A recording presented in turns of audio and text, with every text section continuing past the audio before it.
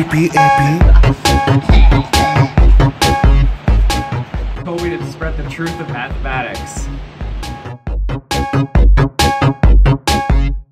Let's take a look at the range and the graph of the denominator of this equation. The denominator is a quadratic. We can use negative b over 2a to locate the vertex, which is negative 3 fourths. Solving for y when x equals negative 3 fourths, y is negative 41 over 8. Making a sign graph for the derivative of this equation, we can find that this quadratic is concave up, and that x equals negative 3 fourths is a minimum. Thus, the range for the denominator is negative 41 over 8 to infinity.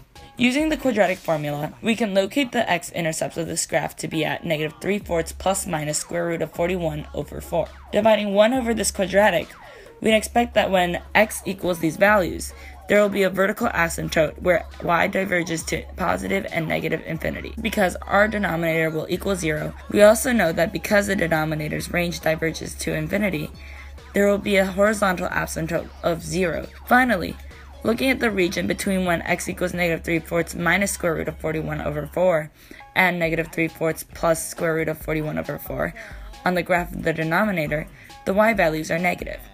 Because the vertex is the minima of the denominator's graph, it will be the maxima of the graph of 1 over the denominator because the greater the magnitude of a denominator, the lower the value is.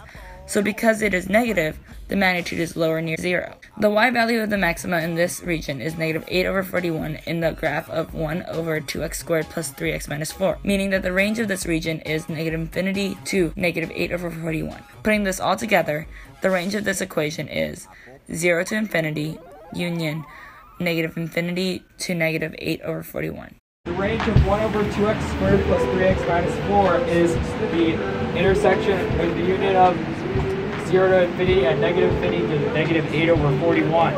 Sweet, awesome. I'm healed. Yay! Go math! If we set both equations equal to one another, we know that by factoring out an x, that x equals 0 is always the solution. By dividing both sides by x, we get the equations of two different lines being equal to one another. Since we already know that x equals 0 is a solution, what we're looking for are equations with another additional x solution. There are two cases, one where a equals c and one where a is not equal to c. If a is equal to c, then the slopes of the lines are equal. If b equals d and their intercepts are equal, then we know that all x solutions would work since the lines would be identical. The probability of this happening is one third times one third, since one third is the probability of two different variables being equal to one another. The case where b is not equal to d is impossible, since eliminating ax and cx from both sides of the equation produces b equals d, which is a contradiction. Our other case is that a is not equal to c. One subcase is that b is equal to d. If this is the case, then we could eliminate it from both sides of our equation. But then ax equals cx, and therefore a equals c, which is a contradiction. Our other case is that b is not equal to d. Since we already know that a is not equal to c, we know that x can't be 0, because if x was 0, b would equal d, which we know is not the case because b is not equal to d. These two lines have to intersect at some point, so we know that there's a unique x solution that's non-zero. The probability that a is not equal to c and b is not equal to d is 2 thirds times 2 thirds, since 2 thirds is the probability that um, any two variables are not equal to one another. Therefore, we can find our final answer by adding 1 ninth to 4 ninths, which is 5 ninths. Anymore.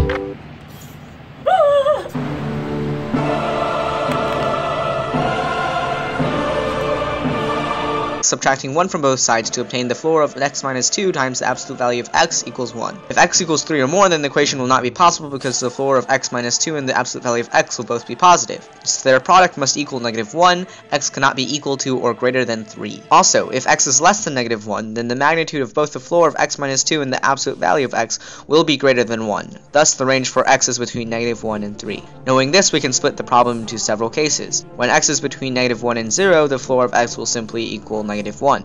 Simplifying, we get that the absolute value of x equals 1 third, so x equals negative 1 third. And x equals 0, we find that 0 equals negative 1, meaning that 0 is not a solution. x is between 0 and 3, we can divide both sides by x to get the floor of x minus 2 equals negative 1 over x. From the range 0 to 1, the floor of x is 0, and so negative 2 equals negative 1 over x. Simplifying, we get x equals 2 1 half. From 1 to 2, the floor of x is 1, and so negative 1 equals negative 1 over x. Simplifying, from 2 to 3, the floor of x is 2, and so 0 equals one, negative 1 over x. There is no solution to this case. Therefore, we only have three solutions, being negative 1 third, 1 half, and 1.